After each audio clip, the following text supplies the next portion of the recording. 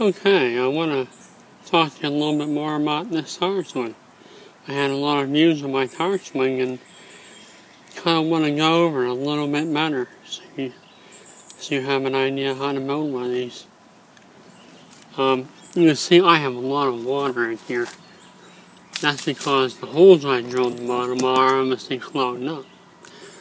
So, but anyway, you want to drill several holes around the bottom of your tire drain the water out. Um, I like to use a bias ply tire because there's no metal bands in it. But if you can't get a bias ply tire, make sure you there's no uh, on the, the metal wire sticking out of it. You know, make sure it's a pretty good tire. Um, I hate tell you to run your hands over. Make sure there's no um, wire sticking out, but whatever you do, make sure there are no wires sticking out of the uh, worn out treads. Okay, um, let's look at this here. What you're gonna need is an eye bolt. Um, use a big washer on the other side so it don't pull through.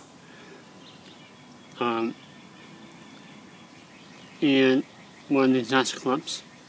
You'll obviously need three of each. Uh, I don't think I can show you how big of a washer I use, but uh, use a big one. And make sure you, um,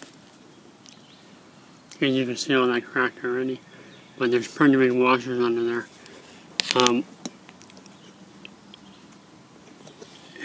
so, you know, use a washer, you know, a couple nuts, and um, secure that down. Um, even if you don't think your washer is big enough, you can stack washers um, to make sure like each one gets bigger. But whatever you do, make sure that washer underneath your eye bolt is big enough so it don't pull through. On the chain, um, use a medium kind of chain. These don't need to be that big, but you can see what I used here. It's kind of, kind of the right, right kind of chain. Not too big, not too small. Um, I'm going to say each one of these chains is about, say about six foot a piece. So say about 18 foot a chain. Yeah, it's about six. I'm gonna guess about six a piece. So you're gonna need about, you know, 18 foot of chain. At the top here,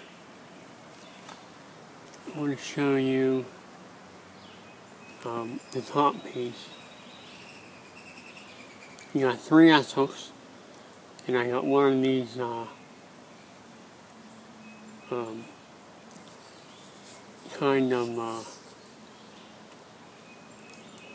um, not sure what they're called, but you can unscrew it and slide your S hooks on there and screw it back up, and that ultimately attaches to the to the rope.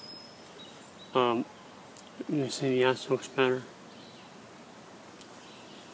You can see that metal uh, clamp you can screw closed, holding everything together. That's what I use to bring all three chains together. So I just wanted to go over a little better of what I use to um, make this tire swing. Um, I also want to mention I use the greatest tire ever here. It's called an Al Unser Special. I think Bobby Unser.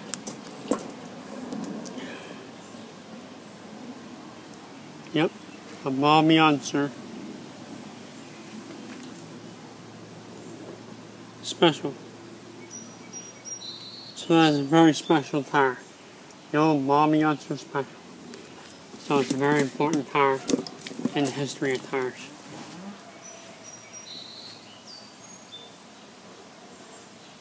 But The uh, tower swing smooths nice.